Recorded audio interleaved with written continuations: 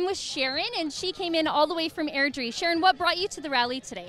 I want to see what's best. I want to make sure that I'm a part of what is best for good changes in Alberta, and, and down with the NDP is a start. Now, if you could say one thing to Rachel Notley with no swearing, what would you say to her right now? Right now, I would like to tell Rachel Notley that all Albertans would like to see your budget within the next two weeks before the federal election because I think you're stalling for Mulcair.